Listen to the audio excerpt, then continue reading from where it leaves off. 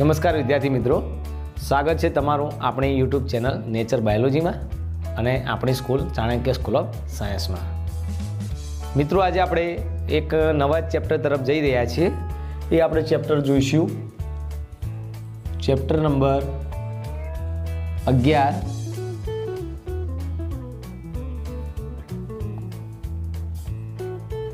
વનસ્પતિઓમાં વહન, બરાબર? Transport in plant તો અહીં આપણે વનસ્પતિઓમાં જે ઘટકો વહન પામે છે, એ ઘટકો વિશે આપણે અભ્યાસ કરવાનો છે.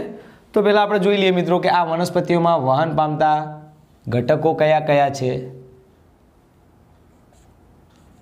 બરાબર? વનસ્પતિઓમાં વહન પામતા ઘટકો કયા કયા છે, એ આપણે જોઈએ. તો આપણે પહેલું વાત કરીશું પાણીની. પછી બીજા ઘટકની આપણે વાત કરીશું.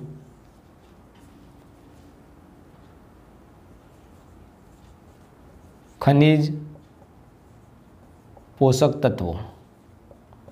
ત્રીજા ઘટકની આપણે વાત કરીશું. કાર્બનિક પોષક દ્રવ્યો. જેને આપણે ખોરાક કહીશું. બરાબર?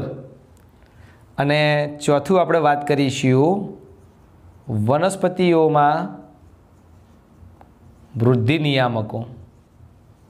વનસ્પતિઓમાં વૃદ્ધિ નિયામકો. જેને આપણે વનસ્પતિ અંતસ્ત્રાવ પણ કહીએ છીએ. અને બીજું વાત આપણે રાખીશું phyto hormones phyto hormones phyto એટલે વનસ્પતિ રિલેટેડ શબ્દ છે અને હોર્મોન્સ એટલે અંતસ્ત્રાવ. તો આ ચાર મુખ્ય ઘટકોની આપણે વાત કરવાની છે. તો પહેલાં આપણે પાણી વિશે જોઈશું મિત્રો. તો પાણી આપણને ખબર છે કે વનસ્પતિઓ માટે, એટલે મતલબ વનસ્પતિ માટે જરૂરી છે, દરેક સજીવ માટે પાણી તો જરૂરી જ હોય છે. તો આપણે પાણીની વાત કરીશું. તો અહીં આપણે દોર દઈએ. ચલો કે એક હું આ પ્રકાંડ છે આને આપણે શું કહીશું? પ્રકાંડ.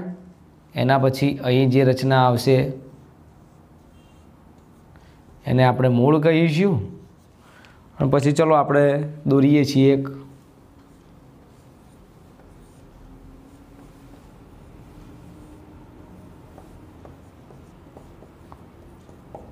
પર્ણ દોરીએ છીએ આપણે. બરાબર? તો જોઈ શકીશું મિત્રો કે પાણીની વાત કરીએ આપણે, તો જમીન છે, આ શું છે? આ જમીન છે જમીનની અંદર મૂળ આવેલા હોય. તો જમીનમાં શું હશે? તો જમીનમાં પાણી હશે. તો આ જે પાણી રહ્યું, એ જમીન દ્વારા, એટલે કે જમીનમાં મૂળ દ્વારા પ્રકાંડમાં જશે ને પ્રકાંડમાંથી જે ભાગોમાં જોવે, એ ભાગોમાં જોઈશે. બરાબર? પરંતુ આપણે જોઈ શકીએ કે એ પાણી રહ્યું, એ મૂળ દ્વારા પ્રકાંડમાં જશે ને પ્રકાંડમાં પર્ણમાં જશે, પણ એના માટે એક આખું વાહક તંત્ર આવેલું છે, એક નલિકા તંત્ર આવેલું છે, જેને આપણે જલવાહક કહીશું. શું કહીશું? જલવાહક પેશી અથવા જલવાહક આપણે તંત્ર કહીશું. બરાબર? તો આપણે કહી શકીએ મિત્રો કે પાણી છે એ પાણીનું વહન કોના દ્વારા થશે? તો પાણીનું વહન થશે જલવાહક દ્વારા. કોના દ્વારા? એટલે કે જલવાહક તંત્ર અથવા જલવાહક પેશી દ્વારા પાણીનું વહન થશે. એક વસ્તુ ક્લિયર થઈ બીજી વસ્તુ અહીંયા આપણે ક્લિયર એવી થશે મિત્રો કે આ જે પાણીનું વહન રહ્યું, એ મૂળથી પ્રકાંડ કે પર્ણ તરફ ઉર્ધ્વ દિશામાં થાય છે. બરાબર? જલવાહક તંત્ર દ્વારા થાય છે. પરંતુ આપણે જોઈ શકીએ કે એ પાણીનું વહન ક્યાંથી ક્યાં? તો આપણે જોઈ શકીએ છીએ મિત્રો કે નીચેથી ઉપરની તરફ. એક જ દિશામાં વહન થાય છે. ઉપરથી નીચેની તરફ આવશે નહીં. એટલે આ જે પાણીનું વહન છે એ આપણે કેવું કહી શકીશું મિત્રો? કેવું છે? એક દિશીય પાણીનું વહન છે. બરાબર? એક દિશીય પાણીનું વહન એટલે આપણે એને યુનિડાયરેક્શનલ પણ કહેવાય. એના પછી આપણે જોઈશું ખનિજ પોષક તત્વો છે. તો આ ખનિજ પોષક તત્વો બે સ્વરૂપે હશે. એક હશે કાર્બનિક સ્વરૂપે અને એક એક બીજું હશે અકાર્બનિક સ્વરૂપે. કાર્બનિક સ્વરૂપે હશે તો આપણે કહીશું કે એ મૂળ દ્વારા પાણીમાં દ્રાવ્ય સ્વરૂપે જ શોષાશે. પરંતુ પ્રકાંડમાં જઈ અને એ શેમાં ફેરવાય? એમિનો એસિડમાં ફેરવાય. તો એ કાર્બનિક સ્વરૂપે કેવા છે? અને આ કાર્બનિક સ્વરૂપે આપણે જોઈ શકીએ છીએ એનો થ્રી માઇનસ સ્વરૂપે હશે અકાર્બનિક સ્વરૂપે. બરાબર? એ પ્રમાણે આ ખનિજ પોષક પોષક તત્વોનું શું થશે? શોષણ થશે, પણ પાણીમાં દ્રવ્ય થશે અને પાણીમાંથી પછી ઉપર શોષણ થશે. પરંતુ આ જે ખનિજ પોષક તત્વો રહ્યા, એ ખનિજ પોષક તત્વો આપણે કહી શકીએ કે જો પાણીમાં જલવાહક તંત્ર દ્વારા જો એમનું વહન થાય, કોના દ્વારા? આ જે પોષક તત્વો રહ્યા, એ આપણે કહેશું કે પાણીમાં, ચલો એના પછીની આપણે ડિટેલમાં વાત કરીશું. હાલ આટલું સમજો કે ખનિજ પોષક તત્વો કાર્બનિક, એમિનો એસિડ કાર્બનિક એનો થ્રી સ્વરૂપે વહન પામે છે. પછી આપણે કહીશું મિત્રો કે કાર્બનિક પોષક દ્રવ્યો, કાર્બનિક પોષક દ્રવ્યો એટલે આપણે કહીશું ખોરાક. અને વનસ્પતિઓમાં ખોરાક એટલે આપણે એ ખોરાક કયા સ્વરૂપે હોય છે? તમારે યાદ સરો રાખવાનું છે સુક્રોજ બરાબર? સુક્રોજ એ ડાયસેક્રાઇડ છે. અગાઉનું આપણે જૈવિક અણુમાં ભણી ગયા કાર્બોદિતમાં. તો આ જે ખોરાક રહ્યો, પોષક દ્રવ્યો રહ્યા, ખોરાક સુક્રોજ એ સુક્રોજનું પણ વહન થવું જરૂરી છે. જે જગ્યાએ બને છે, એ જગ્યાએથી બીજી જગ્યાએ જોઈશું આપણે. ત્યારબાદ આવશે વનસ્પતિઓમાં વૃદ્ધિ નિયામકો એટલે આપણે અંતસ્ત્રાવો કહીશું. અને આના માટેનું ચેપ્ટર આપેલું છે વનસ્પતિઓમાં વૃદ્ધિ નિયામકો કરીને.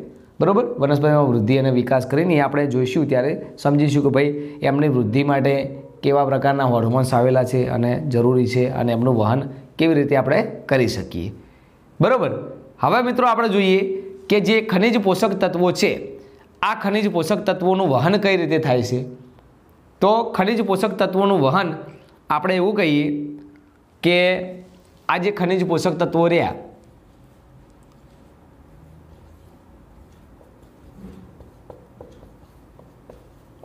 આમનું વહન આપણે કહી શકીએ ભાઈ કે જો પાણી છે, આ પાણીમાં શું થાય? પાણીમાં દ્રાવ્ય થાય. તો એ કોના દ્વારા? તો આપણે કહીશું કે જલવાહક દ્વારા, એટલે કે જલવાહક પેશી દ્વારા વહન થશે. તો એ કેવું હશે? તો એ હશે એક દિશીય કેવું હશે? એક દિશીય કેમ કે પાણીમાં દ્રાવ્ય થાય અને પાણી જે જે દિશામાં જાય, એ દિશામાં જ પાણી સાથે વહન પામશે.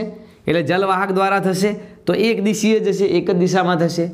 પરંતુ આપણે એમ કહીએ કે આ ખનિજ પોષક તત્વો રહ્યા, એ કોઈ પર્ણ છે એ પણ કેવું જીર્ણ થવાનું છે. પર્ણ હોય, કોઈ અંગ હોય, જીર્ણતા પ્રાપ્ત કરે, એટલે કે એ પર્ણ હવે બગડી ગયું છે, જૂનું થઈ ગયું છે, તૂટવા ઉપર છે. બરાબર? આપણે જોઈશું. ચલો, આકૃતિમાં હું સમજાવું એટલે ખબર પડશે કે આ જે પર્ણ રહ્યું, આ પર્ણ હવે જીર્ણ થવાનું છે. એટલે કે હવે તૂટવાની આરે છે.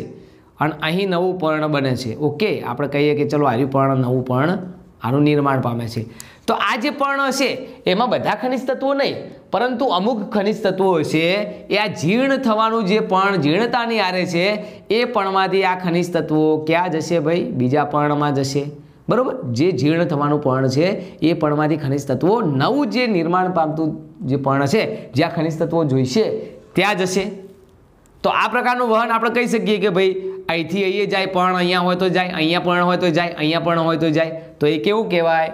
તો એ કહેવાય બહુદિશીય. એ ખનિજ તત્વનું વહન કેવું આપણે કહેવાય છે મિત્રો? બહુદિશીય. બહુદિશીય એટલે આપણે કહીશું કે મલ્ટી ડાયરેક્શનલ મલ્ટી ડાયરેક્શનલ કહીશું. અને એક દિશીય છે, એક દિશીયને આપણે એક એટલે યુની એટલે આપણે એને કહીશું યુની ડાયરેક્શનલ બરાબર? ખ્યાલ આવી ગયો? હવે આપણે પોષક દ્રવ્યોની વાત કરીએ, ખોરાકની વાત કરીએ મિત્રો. તો પોષક દ્રવ્યોમાં કેવું થશે? તો આ જે ખોરાક રહ્યો, એ ખોરાક શું થાય? ખોરાક છે, પોષક દ્રવ્યો છે. આ પોષક દ્રવ્યો એટલે કાર્બનિક પોષક દ્રવ્યો, બરાબર? કેવા? કાર્બનિક પોષક દ્રવ્યો અને આ કાર્બનિક પોષક દ્રવ્યો એટલે શું? ખોરાક. હવે મિત્રો, તમને ખબર જ છે કે વનસ્પતિઓમાં ખોરાક ક્યાં બને? આપણે મિકેનિઝમ સમજી લઈએ પહેલાં. વનસ્પતિઓમાં ખોરાક આપણને કે, ખબર છે કે પ્રકાશ સંશ્લેષણની ક્રિયા દ્વારા ક્યાં બનશે? પર્ણમાં બનશે.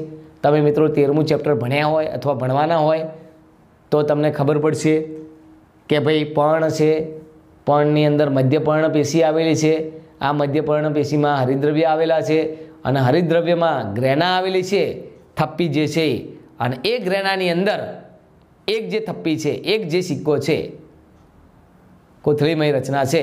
એને આપણે થાઇલેકોઇડ કહીશું. અને આ થાઇલેકોઇડમાં ક્લોરોફિલ હરિદ્રવ્ય આવેલું હોય. બરાબર? આ ક્લોરોફિલ છે, સોરી, હરિતકણ. આ ક્લોરોફિલ અથવા હરિતકણ છે પ્રકાશ સંશ્લેષણ કરવા માટે જવાબદાર રંજક દ્રવ્ય છે. તમે ઊંડાણપૂર્વક તે અભ્યાસ કરશો. તો મૂળ પર્ણમાં ને એમ.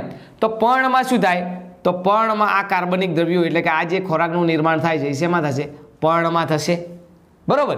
અને એ પર્ણ દ્વારા જે ભાગમાં જુએ, પ્રકાંડમાં જુએ કે જે ભાગમાં જુએ, ઉપર જુએ, નીચે જુએ, જે ભાગમાં જુએ, એ એમાં જશે.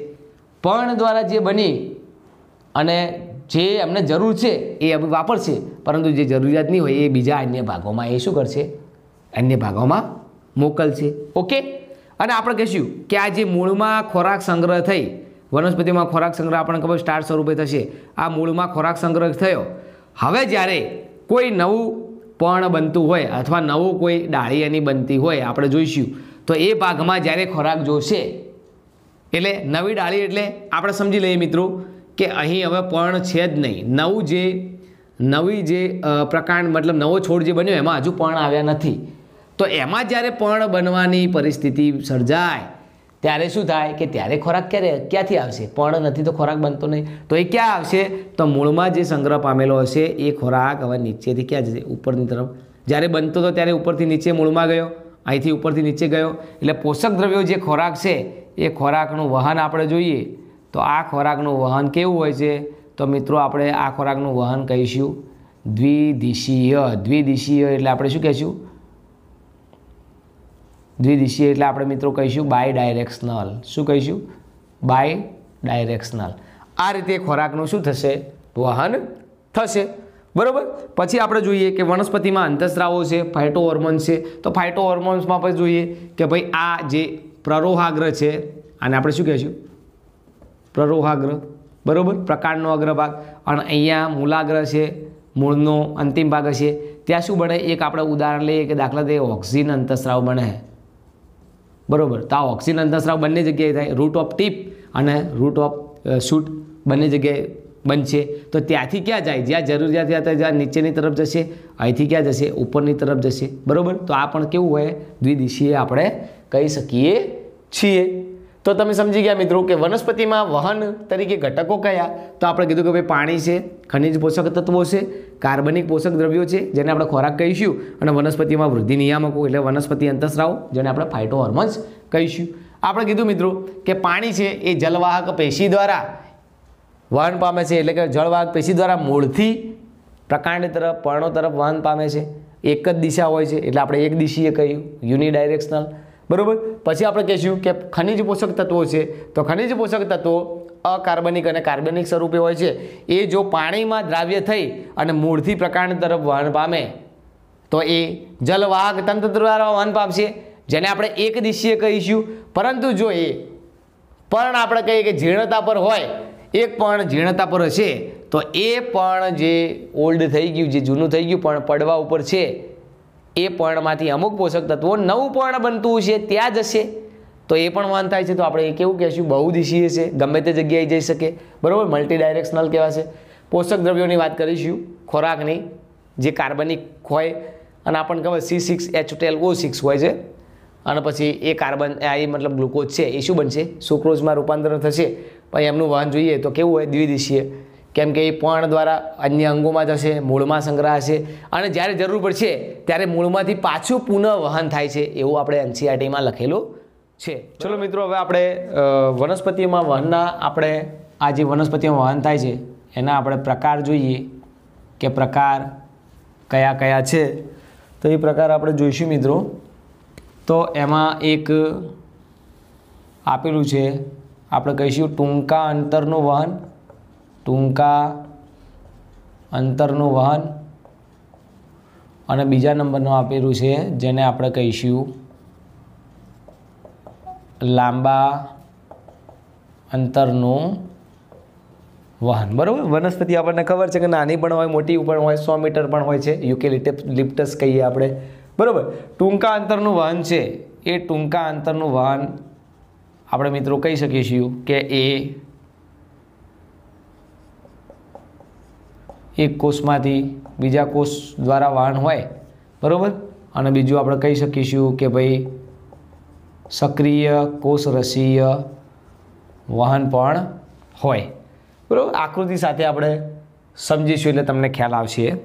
કે ચલો આપણે સમજીએ કે આ પ્રકાંડ છે, પછી આપણે કહીશું કે આ એક શું છે, મૂળ છે, બરાબર?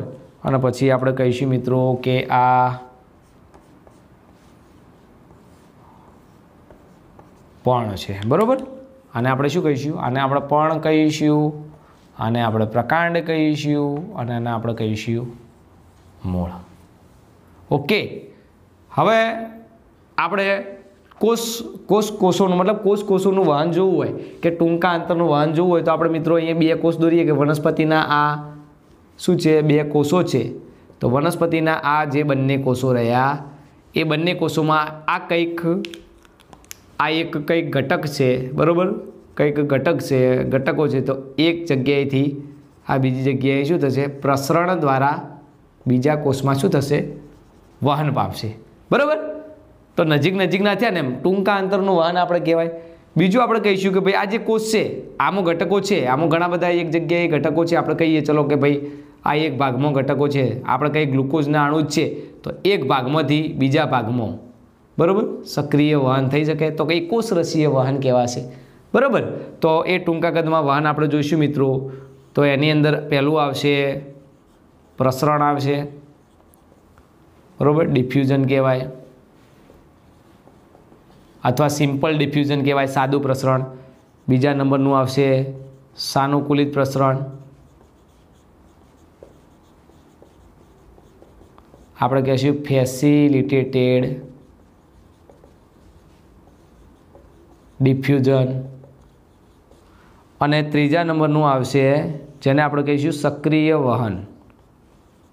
સક્રિય વહન, જેને આપણે ઇંગ્લિશમાં કહીશું એક્ટિવ ટ્રાન્સપોર્ટ બરાબર? આ ત્રણ પ્રકારના જે વાહન આવશે, એ ટૂંકા અંતરના વાહન કહેવાશે.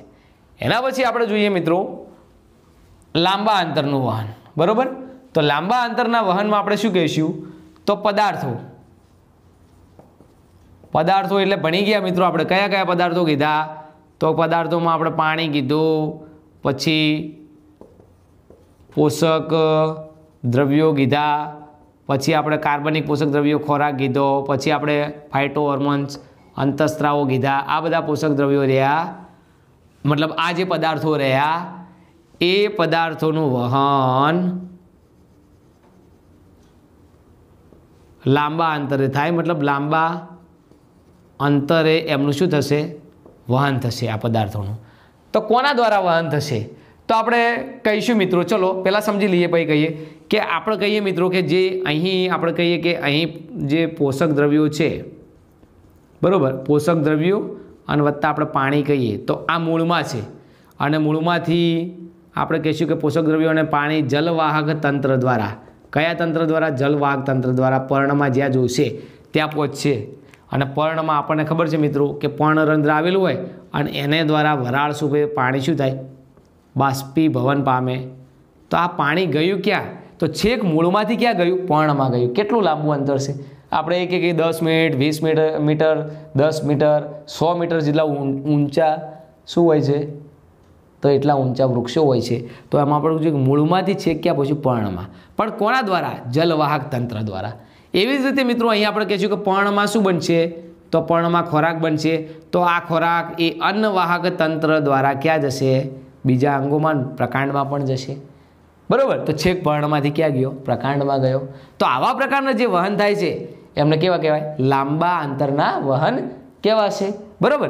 તો આપણે આ લાંબા અંતરના વહન આપણે કહીએ. કે લાંબા અંતરના વહન બે તંત્ર દ્વારા થાય છે, જેને આપણે કહેશું જલવાહક તંત્ર અને બીજાને આપણે કહેશું અન્નવાહક તંત્ર. બરાબર? શું કહીશું? જલવાહક તંત્ર અને અન્નવાહક. એટલે કે પદાર્થો છે, એ પદાર્થોનું વહન. એક સંવહન તંત્ર દ્વારા. વહન કરાવતા તંત્ર. વહન કરાવતો એક તંત્ર દ્વારા થાય. એ તંત્ર કયું? જલવાહક તંત્ર અને અન્નવાહક તંત્ર એના દ્વારા જો વહન થાય અને એ લાંબા અંતરનું હોય, જોઈ શકો છો મિત્રો તમે કે છેક મૂળથી ક્યાં હોય પણ સુધીનું હોય, તો આવા પ્રકારના જે અંતરો આપણે છે, એમને શું કહેવાય? તો એમને શું કહેવાય છે? એમને કહેવાય છે લાંબા અંતરના વાહન. ટૂંકા અંતરના વાહન હશે, એ કોષ કોષ અથવા કોષરસીય વહન. આપણે કીધું એક કોષમાંથી બીજા કોષમાં જાય, તો કોષ કોષ દ્વારા વહન કહેશું? અથવા એક જ કોષના કોષરસોમાં એક જગ્યાએથી બીજા જગ્યાએ કોષરસમાં પરિભ્રમણ પામે, તો આપણે એને કોષરસીય કહેશું. તો આ રીતનું પદાર્થોનું વહન થાય. અને એ ત્રણ રીતે થાય છે. કહી શકીએ આપણે મિત્રો, પ્રસરણ, સાનુકૂલિત પ્રસરણ અને સક્રિય વહન. તો આ ત્રણ રીતે પ્રસરણ થાય છે. તો વનસ્પતિઓમાં જે વહનના પ્રકાર છે, એ તમને ખ્યાલ આવી ગયા મિત્રો? ટૂંકા અંતરનું વહન અને લાંબા અંતરનું વહન. બરાબર? લખવું હોય તો તમે મિત્રો લખી શકો છો. બે મિનિટ આપું છું તમને લખવાની. તો લખી દો તમે.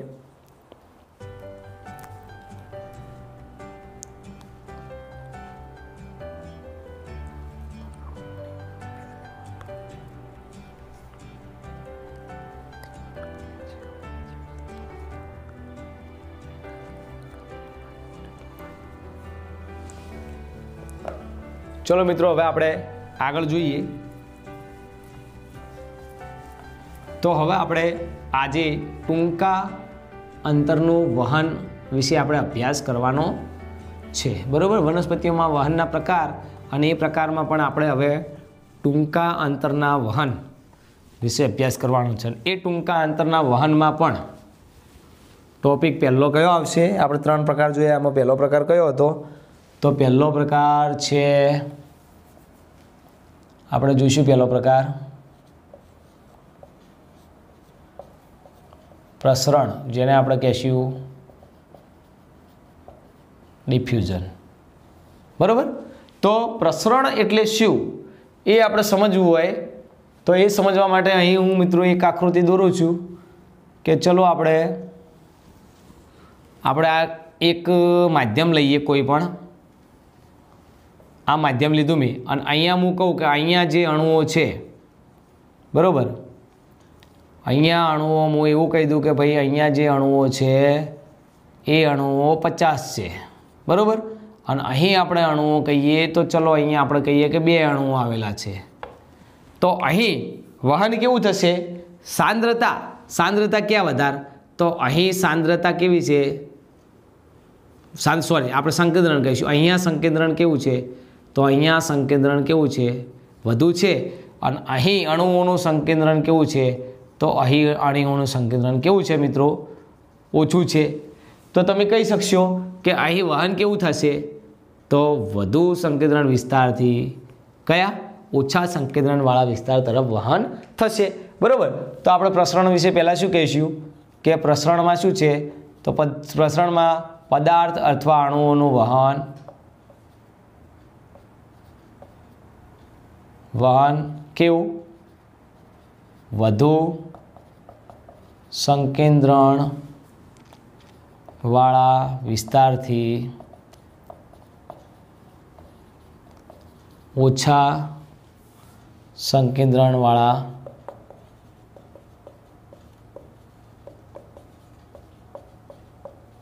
વિસ્તાર તરફ થતું વહન. બરાબર? એટલે કે ઢાળની દિશામાં થાય છે. તો આપણે બીજું પણ લખી શકીએ મિત્રો શું? કે ઢાળની દિશામાં થતું પદાર્થોનું વહન. બરાબર?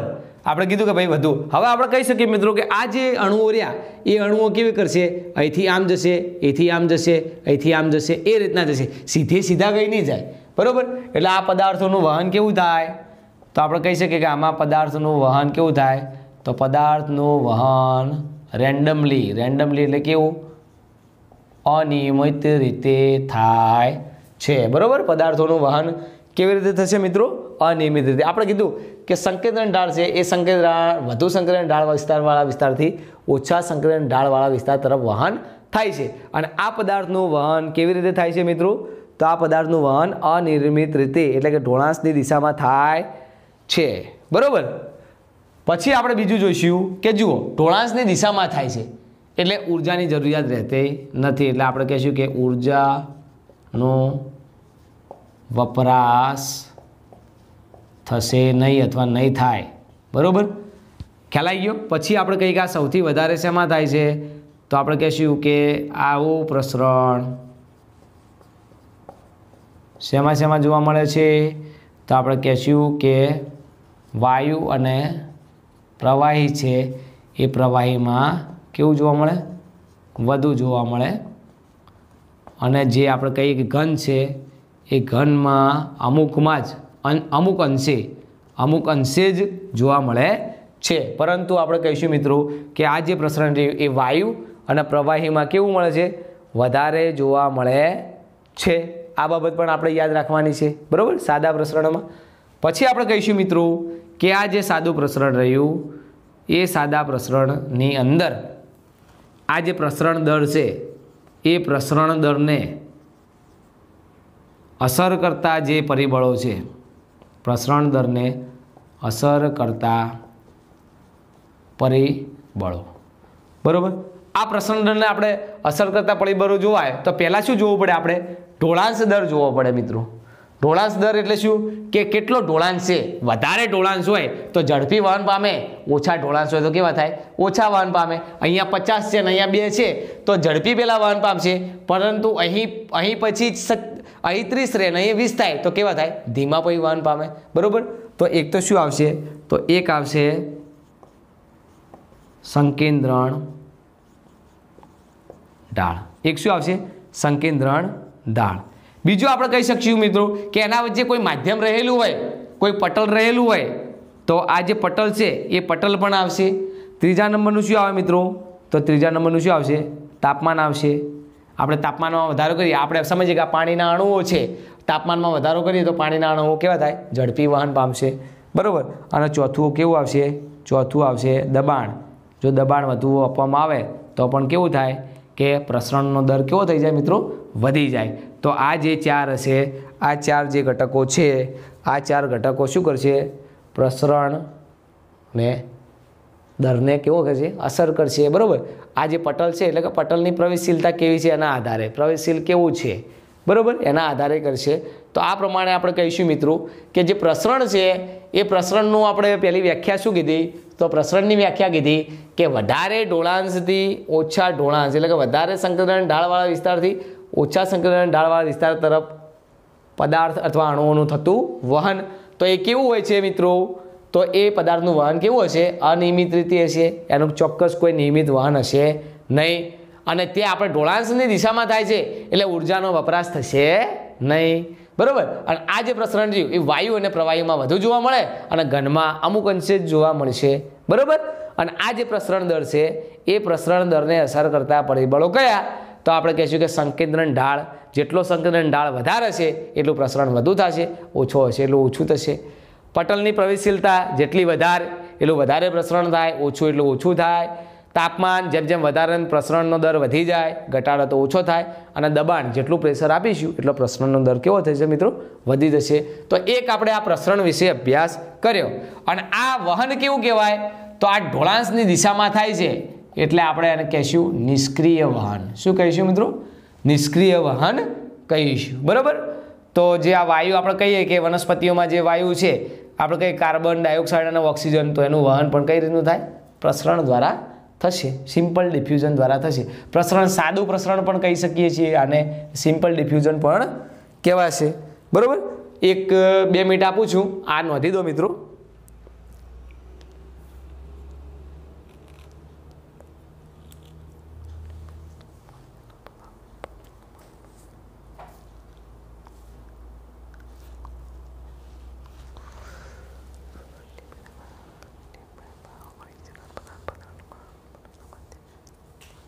ચલો, હવે આપણે આગળ જોઈએ બીજા નંબરનું પ્રસરણ.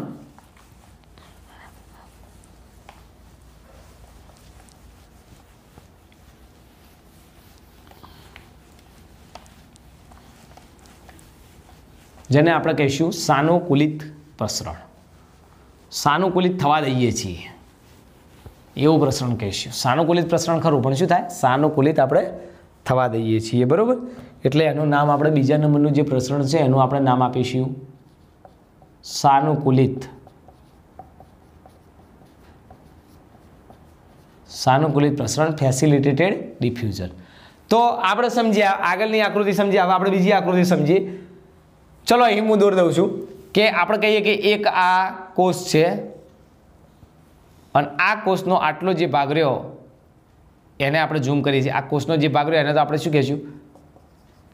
કોષ રસ પટલ કહેવાય મિત્રો? બરાબર? તો કોષ રસ પટલ તમે અભ્યાસ કર્યો જ છે. બરાબર? કોષ જીવનના એકમો. પણ અહીં આપણે જોઈ દઈએ કે આટલો ભાગ આપણે ઝૂમ કરીને જોઈએ છીએ મિત્રો. તો એ ભાગ આ રીતનો આપણે, આપણને ખબર છે કે લિપિડના બાયલિવર એટલે દ્વિસ્તરીય લિપિડ આયોજન ત્યાં આવેલું છે. બરાબર? એ તમને ખ્યાલ હશે કે લિપિડ દ્વિસ્તરીય શું થયું હોય? લિપિડ દ્વિસ્તરીય આયોજન આવેલું છે. બરાબર? આ રીતનું આપણે કહીશું કે આ રીતનું લિપિડ દ્વિસ્તરીય આયોજન આવેલું હશે લિપિડના અણુઓ વિશે તમે અભ્યાસ કર્યો જ છે મિત્રો કે ફેટી એસિડ હોય અને શું હોય? ગ્લિસરોલ હોય. અને એ લિપિડ આપણે જોઈશું તો આ રીતનું લિપિડ દ્રવ્ય આવેલા હશે, જેને આપણે શું કહીશું? Lipid bilayer. બરાબર? સેન્ડવિચ જેવો આકારનું છે ને? લિપિડ બાયલેયર આપણે કહીશું મિત્રો. આ રીતની આખી એની રચના હશે, ઓકે?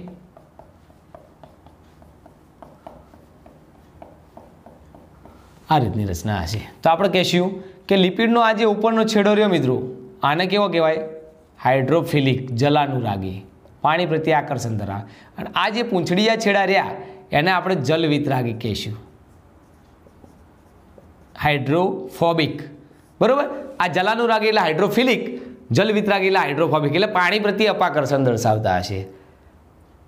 તો હવે જે લિપિડમાં દ્રાવ્ય અણુ છે, આપણે સમજીએ કે ચલો ભાઈ, આ જે એક અણુ છે, આ પોતે લિપિડ જ છે. લિપિડ, લિપિડમાં તો દ્રાવ્ય હોય કે ના હોય?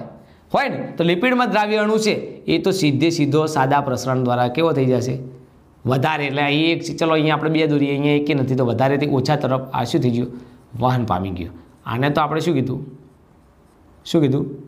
સાદું પ્રસરણ આપણે ડિફ્યુઝન કીધું. બરાબર? પરંતુ બીજા આપણે અમુક ઘટકો આપણે જોઈએ મિત્રો. તો અમુક ઘટકો વધારે તો છે. આ ઘટકો કેવા છે? વધારે છે. પરંતુ એ કેવા છે? તો આ જે અણુ છે એ કેવા છે? તો આ અણુ છે જલ વિતરાગી છે. આ સોરી જલાનુરાગી છે, હાઇડ્રોફિલિક છે. તો આ અણુ અહીંથી તો શોષાઈ જશે, પણ આ પાણી પ્રત્યે અપાકર્ષણ દર્શાવેલ અહીં આવી અને બંધ થઈ જશે, અંદર આવી જશે નહીં. આપણે કહી શકીએ કે આ જે કોષરસ પટલ છે, આ બહારનો વિસ્તાર, એટલે આ કયો થાય? આ તો બહારનો ભાગ થાય ને આ અંદરનો, એટલે આ ભાગ કયો થશે? અંદરનો થશે.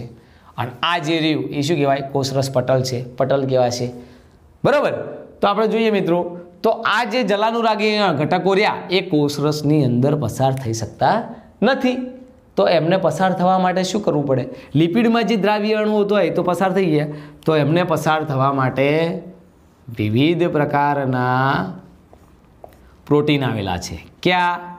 કોષરસ પટલમાં. શું આવેલા છે? વિવિધ પ્રકારના પ્રોટીન આવેલા છે. બરાબર? તો આ પ્રોટીન રહ્યા એ પ્રોટીન શું કરે? તો આ આયનોને જવા માટે એક માર્ગ પૂરો પાડે છે. બરાબર? એટલે આપણે એને શું કહીશું? આયન માર્ગ કહીશું. શું કહીશું? આયન માર્ગ. બરાબર? આયન ચેનલ કહેવાય.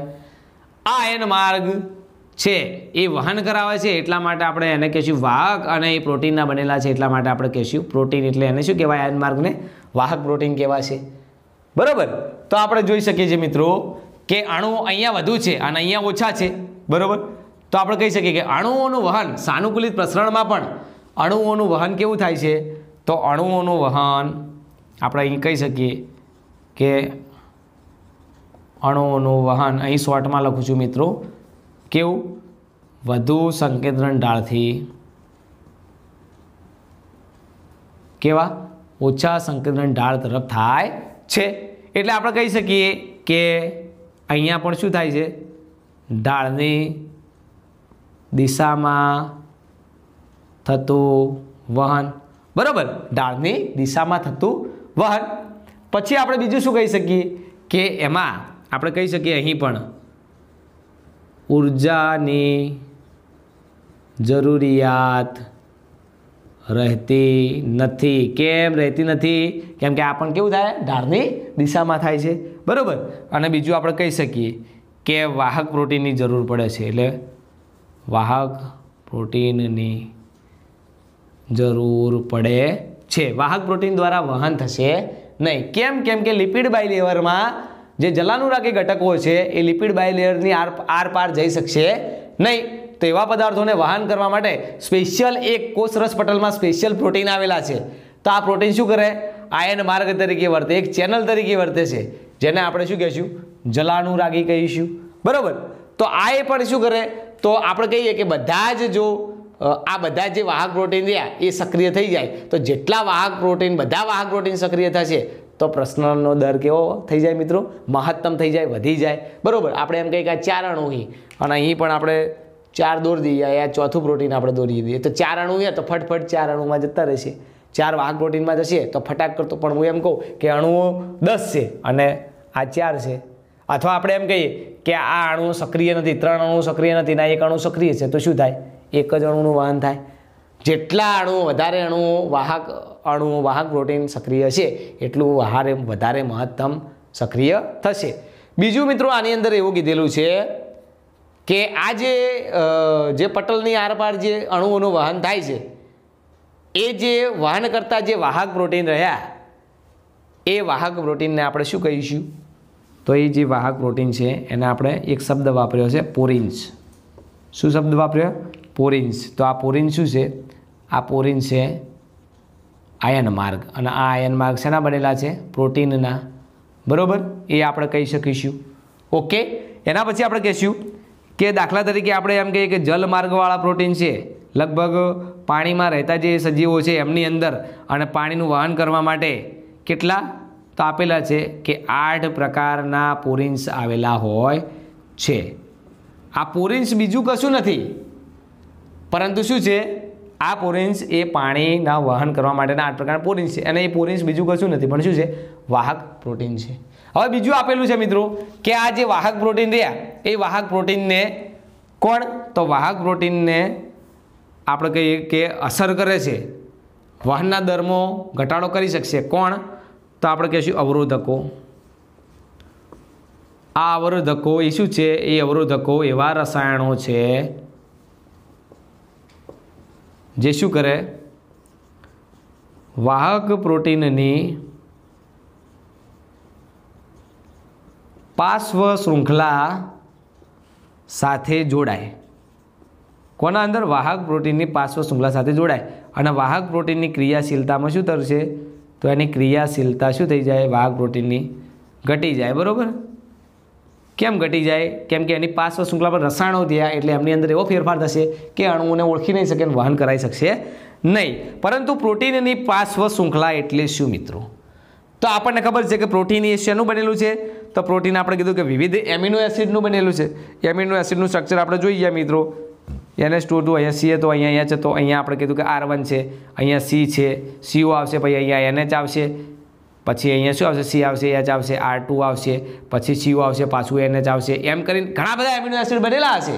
આ એમિની એસિડની જે આર ચેન છે આર ક્રિયાશીલ સમૂહ હતો. આ ક્રિયાશીલ સમૂહ એટલે એમિનો એસિડના પાર્શ્વ શૃંખલા. અને આ બધા જ ક્રિયાશીલ સમૂહ એટલે કોના? પ્રોટીનની પાર્શ્વ શૃંખલા. આ પાર્શ્વ શૃંખલા સાથે રસાયણ બેસી જાય. મતલબ ચોંટી જાય. એના પ્રત્યે ખૂબ જ સંવેદનશીલ હોય છે આ આ જે પ્રોટીન હોય છે. તો પ્રોટીનની પાર્શ્વ શૃંખલા એટલે કઈ? આપણે કહેવાય કે આ જે ક્રિયાશીલ સમૂહ છે, એના સાથે જોડાઈ જાય. અને એની પ્રક્રિયામાં શું કરી દેશે મિત્રો? ઘટાડો કરી દેશે.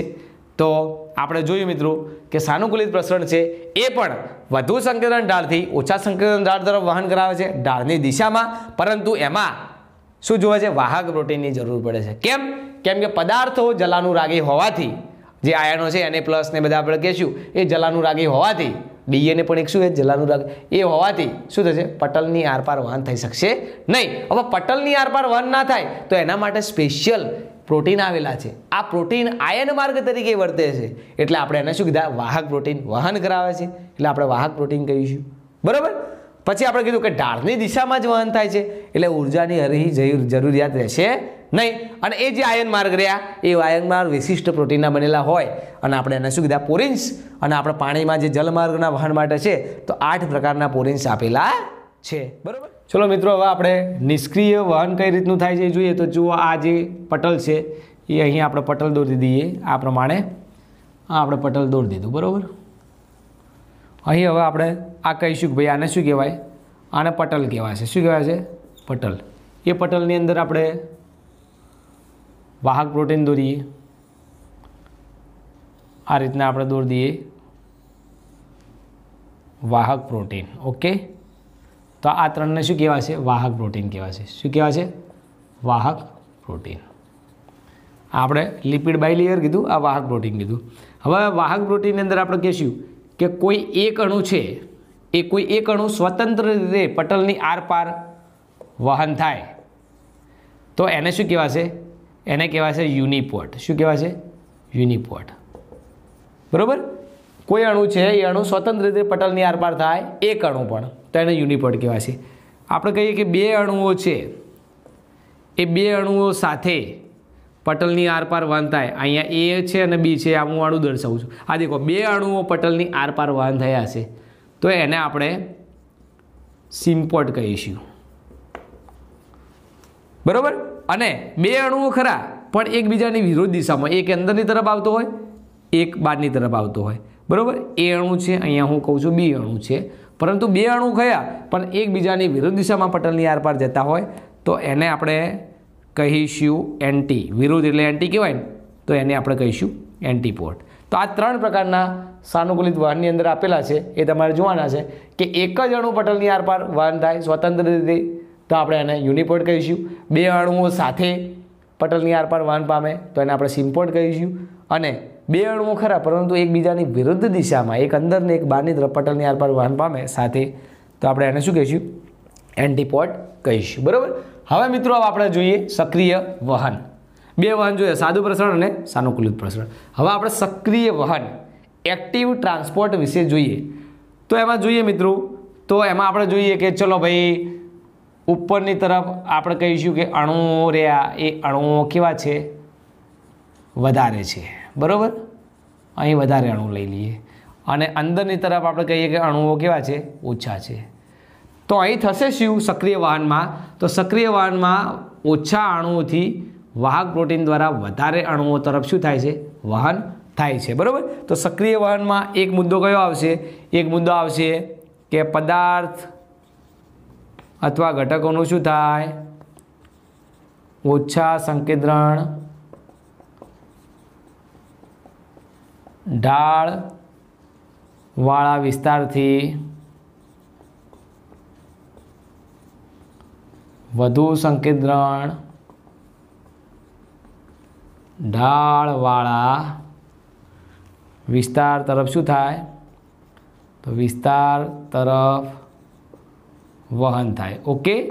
એટલે આપણે એને કહી શકીએ કે ઢોળાંશની કેવું થાય છે? તો ઢોળાંશની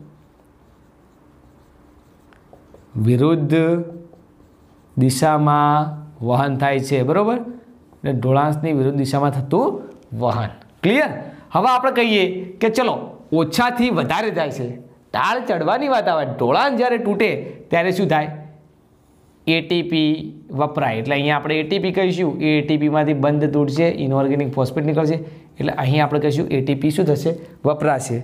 એટલે આપણે બીજો મુદ્દો એ લખશું મિત્રો ખાસ, કે ઊર્જા ઊર્જા એટલે કઈ ઊર્જા આપણે શરીરમાં ખબર છે એટીપી એડિનોસાઇન ટ્રાઇફોસ્ફેટની જરૂરિયાત અથવા આવશ્યકતા રહે છે. બરાબર?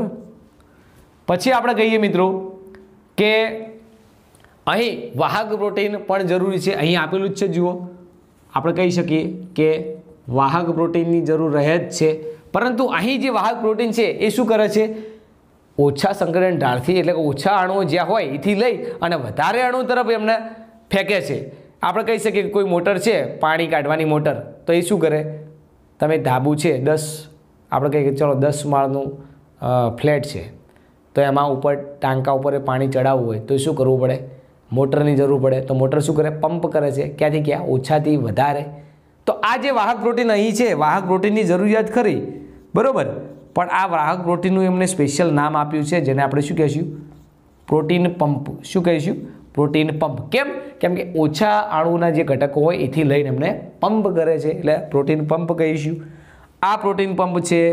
એ પ્રોટીન પંપ આપણે કહીશું મિત્રો કે એ અવરોધકો સામે. અવરોધકો સાથે કેવા હોય છે? સંવેદનશીલ હોય છે. આ જે પ્રોટીન પંપર્યાયી અવરોધકો સાથે કેવા હોય? સંવેદનશીલ હોય છે. બરાબર? આપણે કહી શકીએ કે જે આ જે અવરોધકો છે, એ અવરોધકો પ્રોટીન છે, એ પ્રોટીનની આર ક્રિયાશીલ જૂથ છે. એના એટલે આપણે એને શું કહીશું? તો પ્રોટીનની પાર્શ્વ શૃંખલા સાથે જોડાઈને તેને કેવો કરી દે? ધીમો કરી દે. ધીમો અથવા આપણે કહી શકીએ કે શું કરી દે? એનું કાર્ય જે છે વહન કરવાની શું કરી દે? નિષ્ક્રિય કરી દે. બરાબર? તો આપણે જોઈ શકીએ છીએ મિત્રો કે અહીં સક્રિય જે વાહન છે, એ સક્રિય વાહનમાં વાહક પ્રોટીનની જરૂરિયાત રહે છે. બરાબર? અને સક્રિય વાહન એટલે સંકલન ઢાળવાળા વિસ્તારથી ઓછા, મતલબ ઓછા સંકલન ઢાળવાળા વિસ્તારથી વધુ સંકલન ઢાળવાળા વિસ્તાર તરફ એમનું વહન થાય છે. એટલે કે ઢોળાંશની વિરુદ્ધ દિશામાં અગેન્સ્ટ કોન્સન્ટ્રેશન ગ્રેડિયન્ટ થાય છે. અને એમાં ઢોળાંશની વિરુદ્ધ દિશામાં ઢોળાંશ જ્યારે તૂટે, ત્યારે આપણને ખબર હોય ઊર્જા આપણે જોઈએ, આ ઊર્જા મળે ક્યાંથી? તો શરીરમાં આપણને ખબર મળતું શેમાંથી મળશે? એટીપીમાંથી મળશે. બરાબર? એટલે કે ઉર્જાની જરૂરિયાત રહે. વાહક પ્રોટીનની જરૂરિયાત રહેશે. પરંતુ આ સ્પેશિયલ વાહક પ્રોટીન એટલે કયા? કયા આવશે? તો એ વાહક પ્રોટીન આપણે કહીશું પ્રોટીન પંપ તરીકે, બરાબર? Protein pump. અને પ્રોટીન છે, એટલે એની પાર્શ્વ શૃંખલા આવેલી પાર્શ્વ શૃંખલા સાથે શું થાય? અવરોધકો જોડાય, વિશિષ્ટ રસાયણો છે, એ પાર્શ્વ શૃંખલા સાથે જોડાય અને એને શું કરી દે? નિષ્ક્રિય કરી દે. બરાબર? તો આ પ્રમાણે આપણે ભણ્યા. સાદું પ્રસરણ, સાનુકૂલિત પ્રસરણ અને સક્રિય વાહન. સાદું પ્રસરણ અને સાનુકૂલિત પ્રસરણ છે, એ નિષ્ક્રિય વાહન કહેવાય. કેમ? ઢાળની દિશામાં થાય છે. અને આ સક્રિય કેવા છે? કેમ? ઢાળની વિરુદ્ધ દિશામાં થાય છે, એટલા માટે. નિષ્ક્રિય હોય એટલે કે સાદું પ્રસંગ સાનુકૂલિત કેવું છે? નિષ્ક્રિય છે અને નિષ્ક્રિય હોય એટલે ખબર છે મિત્રો આપણને કે એમાં ઉર્જાની જરૂરિયાત રહેશે નહીં અને સક્રિય વહનમાં શું થાય? ઉર્જાની જરૂરિયાત રહે છે. ચલો મિત્રો, આપણે ત્રણ પ્રસરણ વિશે આપણે ભણ્યા, મતલબ વહન વિશે ભણ્યા વનસ્પતિઓમાં. પણ હવે સંક્ષિપ્તમાં આપણે જોઈએ તો પહેલું છે કે પટલના વિશિષ્ટ પ્રોટીનની આવશ્યકતા. એટલે કયું થાય? વાહક પ્રોટીન થશે. તો આપણને ખબર છે મિત્રો, સાદા પ્રસરણમાં વાહકની જરૂરિયાત રહેતી નથી. સાનુકૂલિત પ્રસરણમાં વાહક પ્રોટીન જરૂરિયાત રહે છે અને સક્રિય વાહનમાં પણ વાહકની જરૂરિયાત રહેશે, જેને આપણે પ્રોટીન પંપ તરીકે ઓળખીશું. પછી આપણે કીધું ઉચ્ચ કક્ષાની પસંદગીશીલતા. એટલે કે વાહક પ્રોટીન હાજર હોય તો ઘટકો અને પદાર્થોને પસંદ કરે, ના હોય તો ના કરે. એટલે અહીં સાદા પ્રસરણમાં શું આવશે? ના. અહીં આપણે હા કરીશું, અહીં આપણે કરીશું હા. બરોબર? એના પછી આપણે જોઈએ મિત્રો કે વહન સંતૃપ્તતા. વહન સંતૃપ્તતા એટલે શું? કે વહન કરવા માટે સંતૃપ્ત. અહીં વધારે છે બહાર. સાદા પ્રશ્નમાં અહીં ઓછા છે અંદર. તો અહીંયા બહાર આવે, અંદર આવશે. અંદર વધી જાય, બહાર ઓછા થાય, તો પાછા બહાર વહન થાય. એમ વહન થતું અનિયમિત છે. એટલે અહીં વહન સંતૃપ્તતા થશે નહીં, એટલે ના આવશે. પરંતુ વાહક પ્રોટીન હોય, ત્યાં વહન સંતૃપ્તતા હોય. કેમ? કે અહીં જોઈ શકો મિત્રો તમે કે વાહક પ્રોટીન આપણે જોઈએ કે ચલો એક, બે, ત્રણ અને ચાર વાહક પ્રોટીન આવેલા છે. બરોબર? તો આપણે કહીએ કે ચાર અણુઓ હોય, તો શું થાય? વાહક પ્રોટીન સંતૃપ્ત થઈ ગયા. હવે તમે બીજા સો નાખો તો શું થાય? વહન થાય? ના થાય. જ્યારે ચાર થાય, એ ચાર અણુઓનું વહન થઈ જશે. પછી જ બીજા ચારનું વહન થશે. એટલે શું થયા? સંતૃપ્ત થઈ ગયા. બરોબર? તો અહીં શું આવશે? વહન સંતૃપ્તતા. તો સાનુકૂલિત પ્રસરણમાં આવશે કે હા, અને સક્રિયમાં પણ આવશે હા. એના પછી આપણે જોઈશું મિત્રો ઉર્ધ વહન ઉર્ધ વહન એટલે ઢાળની વિરુદ્ધ દિશામાં વહન થાય અને આપણે ઉર્ધ્વર વધારેથી ઓછા તરફ તો થાય, ઓછાથી વધારે થાય. તો આપણે કીધું સાદા પ્રસરણમાં આપણે કીધું વધારેથી ઓછા તરફ થાય, સાનુકૂલિત પ્રસરણમાં પણ વધારેથી ઓછા તરફ થશે. એટલે આપણે ઉર્ધ્વ વહન સાનુકૂલિતમાં આ સાદામાં ના આવશે. આમાં પણ સાનુકૂલિતમાં નથી થતું, પરંતુ આ ઢાળની વિરુદ્ધ દિશામાં થાય છે, એટલે એમાં આવશે હા. બરોબર? પછી આપણે જોઈશું બીજું. ઊર્જા એટીપીની આવશ્યકતા. આપણને ખબર છે, ઢાળની દિશામાં થાય તો એટીપીની આવશ્યકતા રહેતી નથી. એટલે આપણે અહીં સાદા પ્રસરણમાં ના કહીશું, સાનુકૂલિત પ્રસરણમાં પણ ના કહીશું. અને એના પછી આપણે અહીં આપણને ખબર છે કે ઢાળની વિરુદ્ધ દિશામાં થાય છે, એટલે અહીં ઉર્જાની જરૂરિયાત રહે છે. બરોબર? તો આ પ્રમાણે આપણે એને એક સંક્ષિપ્તમાં પણ લખી શકીએ છીએ મિત્રો, કે સાદા પ્રસરણમાં ઢાળની દિશામાં વહન થાય છે. કોઈ પણ ઉર્જાની જરૂરિયાત રહેતી નથી. અનિયમિત આકારનું વહન થાય છે, વાયુઓ અને પ્રવાહીમાં વધારે પ્રકારનું જોવા મળે છે. બરાબર? અને આપણે સાનુકૂલિત પ્રસરણમાં કીધું કે એ પણ ઢાળની દિશામાં, વધારે સંગ્રહણ ઢાળવાળા વિસ્તારમાંથી ઓછા સંગ્રહણ ઢાળવાળા વિસ્તારમાં થાય. પરંતુ એ જલાનુરાગી ઘટકો હોય, એ પસાર થઈ શકશે નહીં પટલની આરપાર. કેમ? લિપિના દ્વિસ્તરીય લેયરના કારણે. લિપિની અંદર જલવિતરાગી આવેલું છે અંદરનું આ લિપિડ બાય લેયર એટલે. તો પટલની આરપાર વન ન થાય. તો એમના માટે એક સ્પેશિયલ પ્રોટીન આવેલા છે. પ્રોટીન સ્પેશિયલ સ્થાપિત થયેલા છે. જેને આપણે વાહક પ્રોટીન કહીએ છીએ. એટલે વાહક પ્રોટીનની જરૂરિયાત પડશે મિત્રો. પરંતુ ઢાળની દિશામાં છે એટલે એટીપીની જરૂરિયાત પડશે નહીં. પછી આપણે કીધું કે સક્રિય. તો સક્રિયમાં જોઈ શકો છો મિત્રો કે ઓછાથી વધુ તરફ, ઓછા સંગ્રહ, ઢાળથી વધુ સંગ્રહ, એટલે કે ઢાળની વિરુદ્ધ દિશામાં વાન થાય. અને વિરુદ્ધ દિશામાં હંમેશા વાન થાય. સક્રિય કીધું જ. એટલે એટીપીની જરૂરિયાત રહે છે, ઉર્જાની જરૂરિયાત રહે અને વાહક પ્રોટીનની જરૂરિયાત રહે, જેને આપણે પ્રોટીન પંપ તરીકે ઓળખીએ છીએ. બરાબર? તો આઈ હોપ કે તમને આ, આપણે કીધું કે શોર્ટ ડિસ્ટન્સ ટ્રાન્સપોર્ટ હતું જે. બરાબર? એ શોર્ટ ડિસ્ટન્સ ટ્રાન્સપોર્ટ વિશે તમને ખ્યાલ આવ્યો હશે. એના પછી આપણે લોંગ ડિસ્ટન્સ ટ્રાન્સપોર્ટ એટલે કે લાંબા અંતરનું વહન જોઈશું. કે પદાર્થો રહ્યા, એ પદાર્થો છે મૂળથી પ્રકાંડ સુધી જાય. પણ સુધી જાય. પણથી બનેલા જે પદા, પદાર્થો જે ખોરાક છે, એ મૂળ સુધી આવે. બરાબર? તો આ શું કહેવાય? લાંબા અંતરનું વહન થાય. અને આવા લાંબા અંતરના વહન માટે પાણી હોય તો જલવાહક તંત્ર અને પાણીમાં દ્રાવ્ય ખનિજ ક્યારો હોય તો પણ જલવાહક તંત્ર દ્વારા. અને જે આ ખોરાક બન્યા, એ અન્નવાહક તંત્ર દ્વારા. એટલે કે જલવાહક અને અન્નવાહક તંત્ર એ સ્પેશિયલ સંવર્ણન તંત્ર આવેલા એના દ્વારા એમાં વહન થશે. તો આને શું કહેવાય? તો આને કહેવાશે સ્થળાંતર. ટ્રાન્સલોકેશન કહેવાશે. શેમાં? લાંબા અંતરના વહનમાં. કેમ? ટ્રાન્સલોકેશન સ્થળાંતર પદાર્થોનું વહન લાંબા અંતરે થાય છે. છેક મૂળથી પ્રકાંડ પણ, છેક પર્ણથી મૂળ સુધી થાય છે એટલા માટે. ઓકે મિત્રો? તો આપણે એના પછીનો પછી આપણે અભ્યાસ કરીશું. Thank you